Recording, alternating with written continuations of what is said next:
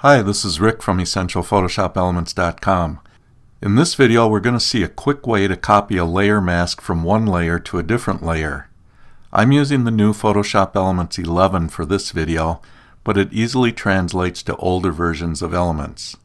Now to benefit from this video, you need to already have an understanding of how layers and layer masks work.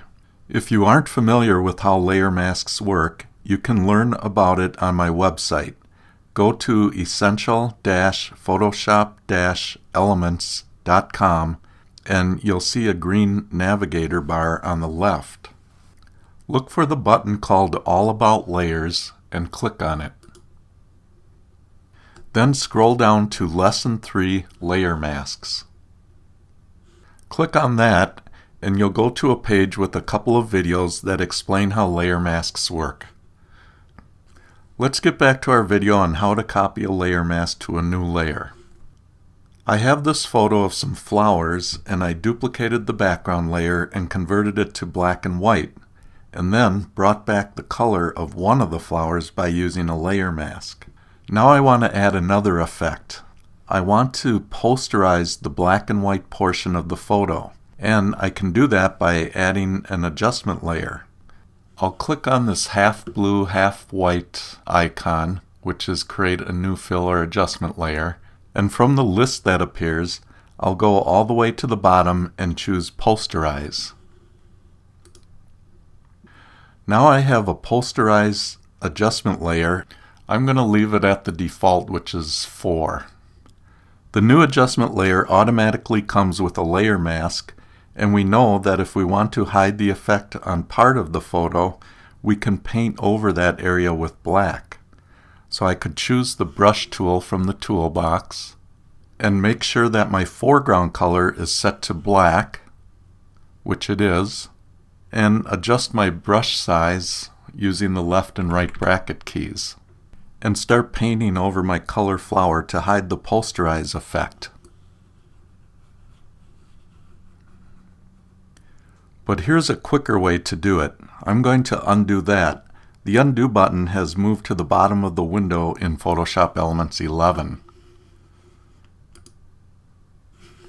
The main idea is to hide the effect from the flower by putting black on that area of our layer mask.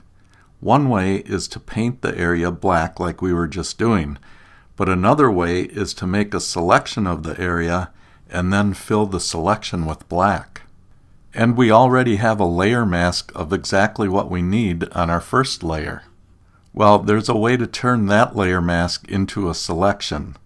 The way you do that is by holding down the Command key on a Mac or the Control key on a PC as you click on the layer mask. So I'll do that.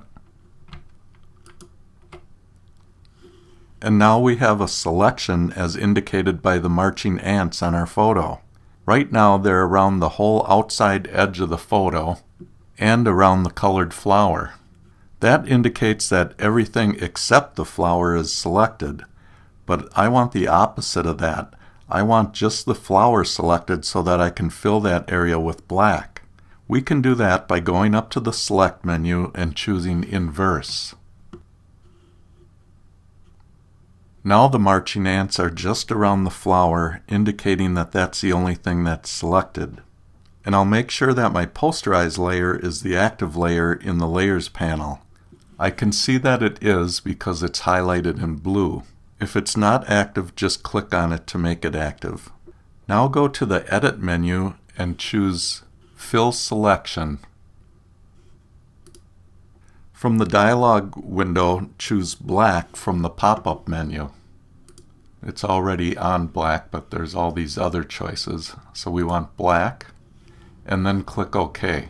And now we have a new layer mask on our posterize layer, which is an exact duplicate of our other layer mask, and it hides the posterize effect on our flower. I'm going to press Command D on a Mac to deselect. It'd be Control D on a PC. And that's how you can quickly copy a layer mask in Photoshop Elements. I hope you found this video helpful. Until next time, this is Rick from EssentialPhotoshopElements.com saying take care.